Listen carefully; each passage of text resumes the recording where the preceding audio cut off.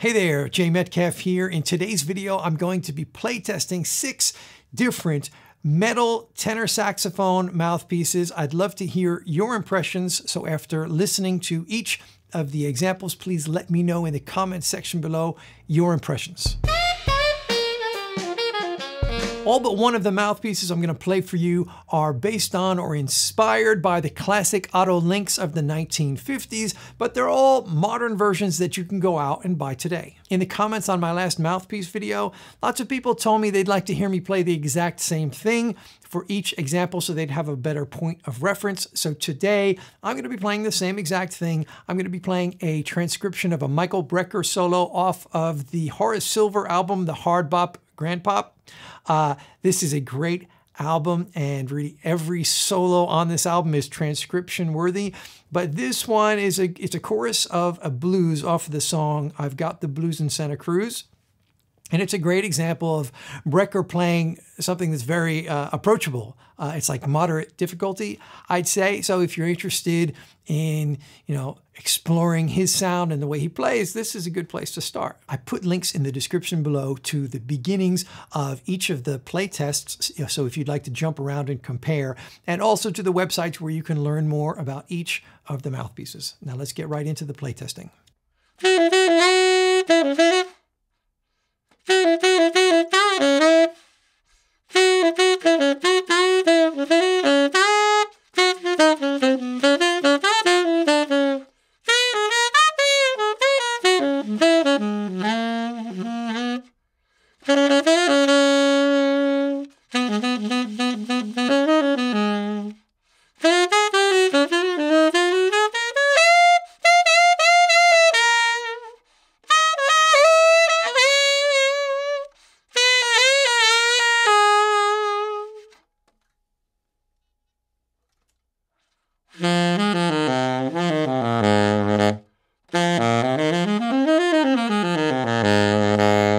So this is the Vandoren V16 T7. Uh, it's they call it the 50s style mouthpiece. I like this mouthpiece. I played in this for a while, but compared to all these other ones here, the problem for me is that it's it's kind of stuffy.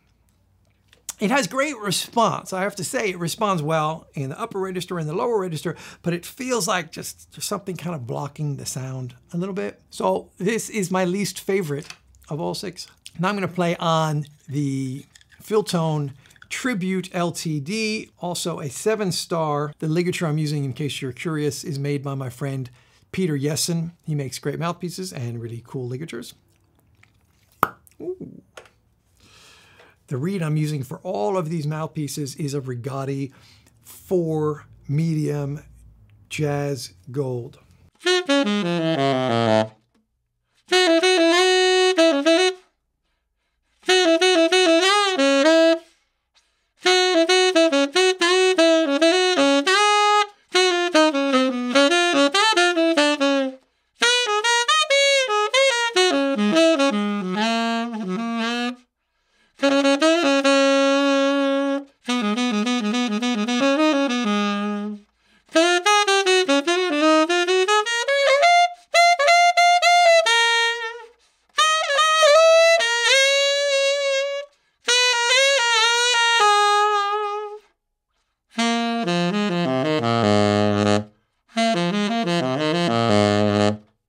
So this, I love this mouthpiece.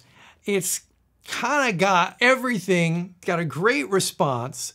It's got crisp articulation. It's got a big fat sound and it has like a wide spectrum of color.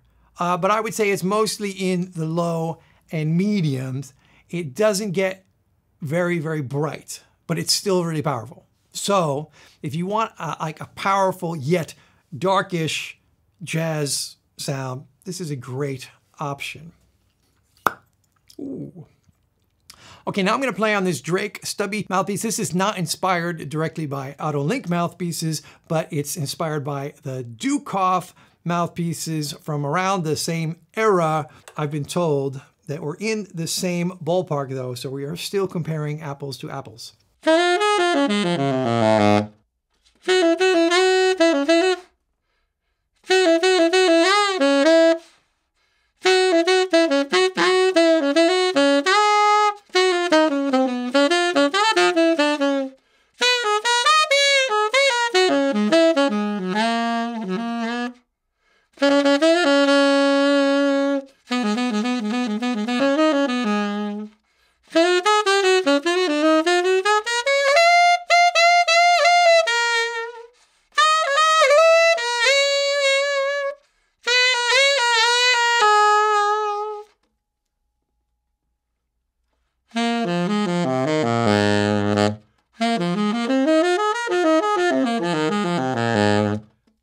Okay, so this is a great mouthpiece as well.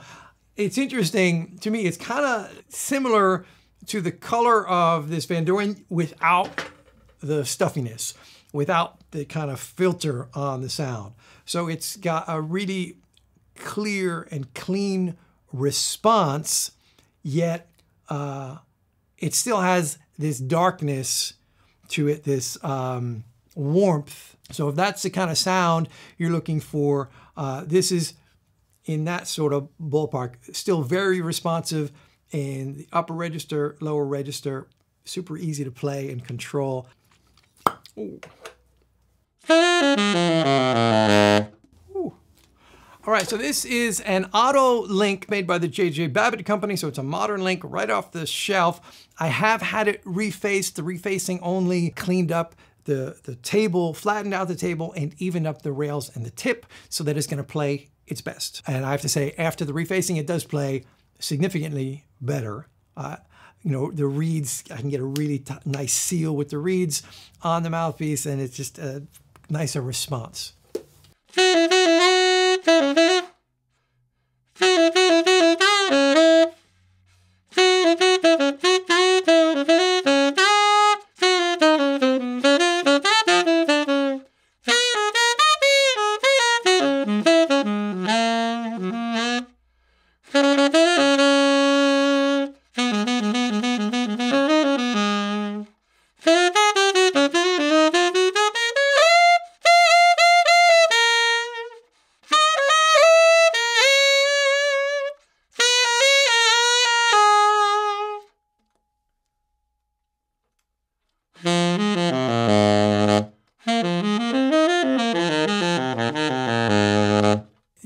This is a great mouthpiece too, especially after being refaced. Um, I what I like about it is it's got this broad spectrum of sound. You've got the low end, you've got the medium end, and you've got the high end. So uh, I would say it's kind of like a spread out sound. Um, yet still, uh, it's got some focus to it. It also has a very nice edge. It's not super edgy, but it's got a nice sort of edge that I like. Very responsive in all the different registers. The one thing, the one issue I've always had with this mouthpiece, and it's a minor thing, is that if I push a little bit too much air through it, the sound tends to, you know, distort. And, you know, it kind of can't handle a certain amount of air. I'm playing this Selmer 404 silver plated ligature on it. This works very nicely on these. Now I'm gonna play this 100 year anniversary Florida link. This is a new mouthpiece just out this year uh, by the JJ Babbitt Company. Uh, it's supposed to be more like a the vintage Florida links. Uh, I had played this and dem demoed it in an earlier video. Uh, since then, I've had it refaced again by Phil Engleman. Now it's playing much better. I'm getting a nice seal on the mouthpiece. Uh, before that wasn't the case, uh, so it wasn't so much fun to play.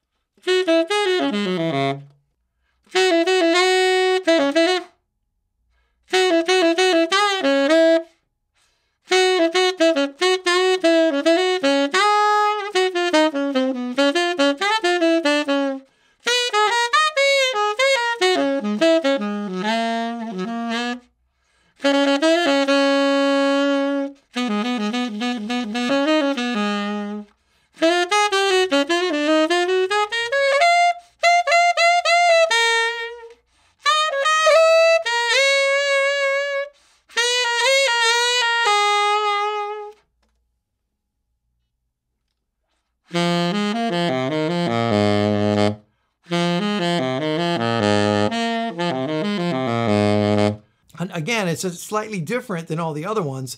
How, for me, the way it's different from this one, it, it's more of a focused sound, uh, less spread, more high end in it, uh, and a little bit faster response than this one. Also, it can take more air than my stock Link can. So yeah, another really good mouthpiece, uh, much better after being refaced, however.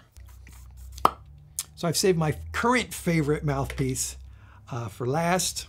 The mouthpiece I'm playing on changes from time to time, depending on the sound I'm going for, what I'm kind of transcribing, what sort of gigs I'm doing, just how I feel, right? So this is the Theo Wanne Gaia 3 tenor mouthpiece. It's a beautifully made mouthpiece. It comes with this ligature that's attached. I think that's a really great idea. It works fantastic. Let's have a listen and you'll see what I mean.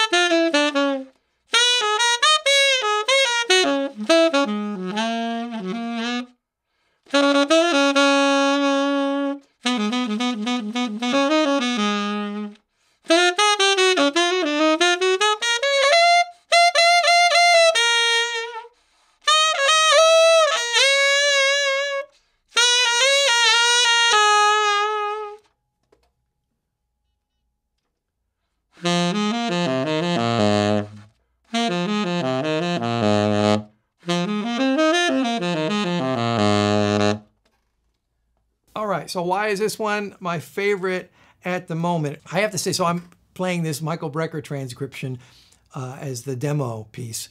And when I'm playing along with Brecker, I feel like I'm getting much closer to his sound when I'm playing this. It depends if that's the sound you're going for, but in this particular case, trying to play more like Michael Brecker, this is doing it for me more than any of the others. Sound-wise, it's got a full spectrum of sound. It's got lows, it's got highs, it's got the mids, it's got a very, very fat sound with, you know, all your frequencies in there. It's got incredibly crisp response and articulation is like just pops right out. Uh, just an immediate attack on all the notes. You put air through it and you get a, you just get instant response, which is great. And if you want to play any, you know, more modern sound, uh, yet still have that complexity and and and multiple dimensions in your sound.